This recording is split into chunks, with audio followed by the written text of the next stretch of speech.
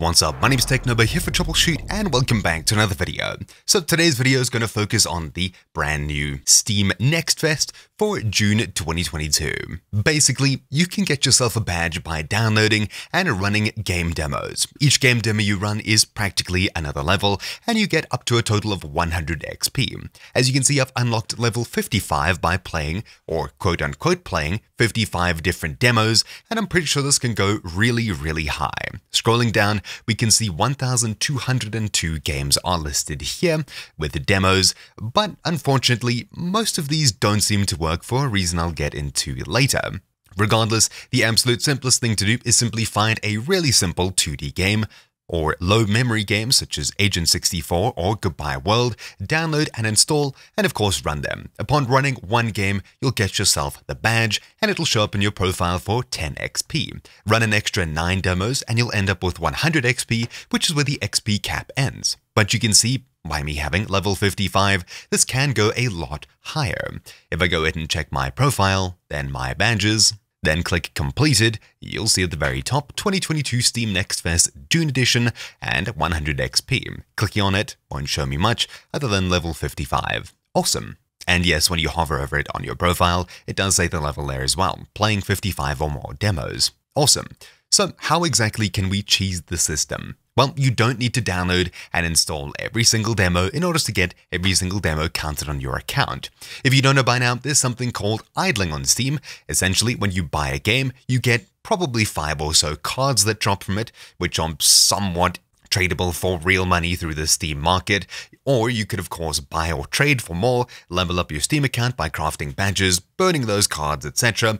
Anyways, long story short, you can make some money or at least make some money back by idling games on your account to get all of those card drops for each different game. Every game has five or so, depending on how much you spent, etc., etc. Anyways, Essentially, that works by creating a developer copy of a program which you can put any Steam ID you want into, and when you run it, Steam will say, do you own the Steam ID? And if you do, congratulations, it'll start up and it'll say that you're playing Battlefield or Call of Duty or whatever it is, depending on whatever Steam ID you put into it. That's exactly how these farming and idling programs work, and that's exactly what I've created. I'm relatively good at coding open source things, and just because I saw an opening here, well, that's exactly what I've gone ahead and created. I posted this last night. There's eight downloads. People are complaining about it not working, but I haven't even finished it yet. anyway, I've put in enough work that now things should be working properly. Long story short, if you're an Archi Steam Farm user, thanks to a user on my Discord, Abstract, as you can see on screen, there's a bunch of different app IDs you can activate here. 10 of them are listed, and by simply running these three commands in Archi Steam Farm, if you have that set up, 10 games will be activated and run, and you should have a level 10 badge. But it seemed to fall apart when I was throwing in hundreds of app IDs, and it got very confused very quickly. Also, I only want to launch them up for a second each, so that's pretty much what my software does. So essentially, it's open source like my other projects, such as the incredibly popular TcNo Account Switcher, link in the description down below. It's the fastest way to swap Steam accounts and other platforms. Anyway, essentially, you'll download the program, extract it, create an app IDs.txt file, which is either comma and or line separated, filled with a bunch of different demo IDs. You run it once, it'll check to see if you own everything, as in it'll try to install it, the install window will then pop up, and you can simply leave it open or close it, as it will be replaced by more windows as it runs through all of the app IDs in that file. By simply pulling up the install window, it activates on your account, this of course assumes that you're feeding it all free-to-play app IDs or free demo app IDs, etc. When it's eventually done running through all of the games trying to activate them on your account, then on the next start of the program, it'll run it for a certain number of seconds each. So I'll simply head across to the link in the description down below, the TcNo Mass Steam Idler. I'll click download at the very bottom here, the big orange button. I'll make sure .NET 6 runtime is currently installed. I've used my account switcher, so it definitely is. Otherwise, follow the link over here, click download x64 as shown in this image, install it, and when that's done, you can download one of these two files from down here under the assets section. They're both exactly the same, just the smaller 7Z file requires 7-zip. The normal zip file can be opened on any computer, so I'll be downloading that. Then I'll click on it to open it up. This is the outdated version, but I will make sure to update this before posting this video. Regardless, inside of here, we see a bunch of different files. All we're going to do is extract these into a folder, say on my desktop. TMSI, I'll call it. There we go. I'll open it up, and I'll simply drag all of the files out of the zip into this folder here. Just because these are outdated, I'll replace them with my copy that I'll be uploading in just a moment here. There we go. Yours will look something like this. Essentially, we'll right click, new, and then click text document. I'll call it app IDs, one word, no uppercase, and I'll simply open it up. Inside of here, we can chuck a ton of different app IDs, and in the description down below, you'll find a ton of demo IDs that seem to work. Scrolling up to the very top of this page here, then to the Discussions tab, then Steam Next Fest 2022, I need to add June to the title, you'll simply look for this link over here, check app IDs. I'll click this to download it, and I'll either open it up, then copy across all of the IDs, or I'll simply drag this file, appids.txt, into the install folder where we dropped all the files. Just because that has a 2 next to it, it's easier for me to copy paste. Essentially, there's 61 demo IDs here that seem to work for me. It may be different at the time of you watching this, if any of you find any more that work. I'll get into that later. Now that we've done this, all we have to do is make sure Steam is running. For example, I'll pull up my friends list over here, which should show in just a moment. There we go. And I'll run.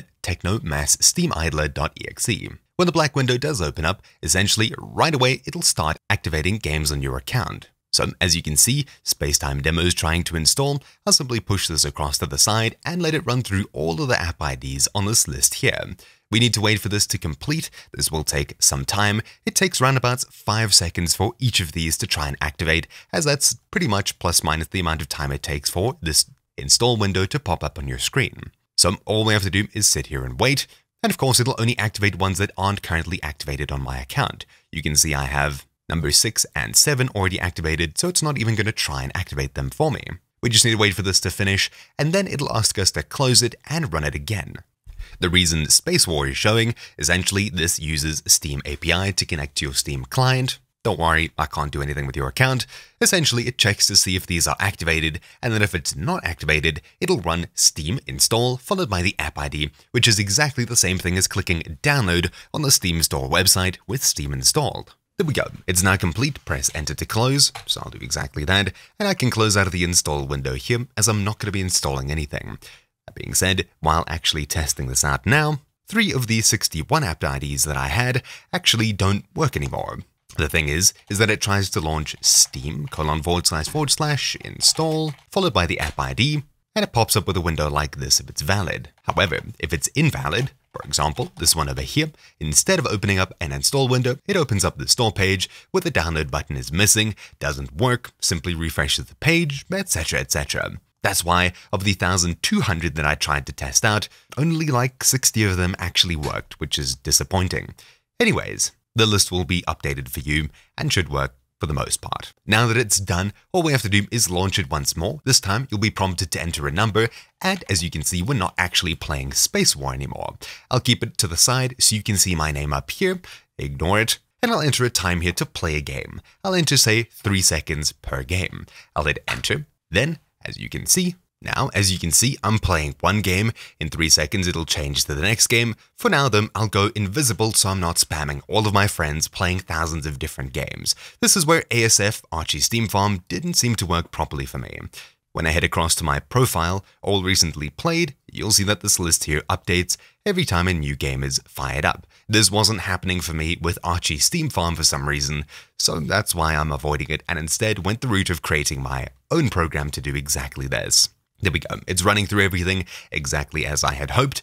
And if we head across to the Steam store page, already you should see that in the Next Fest section, that your badge is currently being upgraded, just with these things running in the background. Level 68, there we go. Right click, reload, scroll down, level 71, and it just keeps climbing and climbing. Every single game that we activate and play is pretty much another level on top of it. Maybe this list will be longer, maybe it'll be shorter, depending on what game demos work. If you find out that certain game demos actually work, do make sure to leave a comment on that discussion, link down below, where you downloaded the app ID's text file, letting me know so I can update it and everyone can get higher badge levels. How exactly do you know if certain things work? Well, essentially, you'll be populating appids.txt with a bunch of demo IDs that you think may work. You'll run the program, and as long as skip check or whatever skip something it is file doesn't exist here, then when you run the program, it should run through each one trying to activate them. Then the next time you launch it, it'll try and play them, and inside of the app IDs activated text file over here, you should see all of the app IDs that work properly. I hope I explained that well enough. Anyways, running it through once more, every game that is activated from that list is being run, and of course level 97. I don't know where the other 30 or 40 games are that I played, I'm not too sure why the demos aren't working now, but anyways, at least this seems to be working properly. I'll see if there's anything more that I can add to this, but for now, that's pretty much it. 57 seems to be it. So I'll wait for this to run through to completion, and there we have it. The last one's running, and now it's done. I'm not too sure why it's not closing. I should probably just manually close it. There we go. Right click, reload, and as you can see, level 109. You won't be this level because the app ID's text file seems to have certain app IDs missing. Again, you could be higher, you could be lower than this.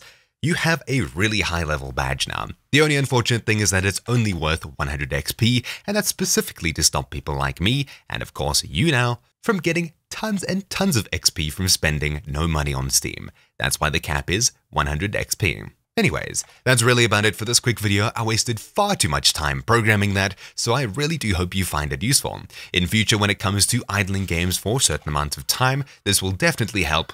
And of course, if you need to activate a ton of free-to-play games, free-to-play demos, this should also help as well. As for why Archi Steam Farm didn't work properly for me, I'm not too sure. The commands will be in the description down below for the first 10. You're more than welcome to go ahead and copy in the rest of the app IDs, though just keep in mind if you are using Archi Steam Farm, it doesn't allow you to put in more than 32 app IDs at once, so you'll need to split that up manually yourself. Anyways, that's really about it for this relatively long video. I hope you found this entertaining, or at least useful. My name's been Technobo here for TroubleChute, and I'll see you all next time. Ciao!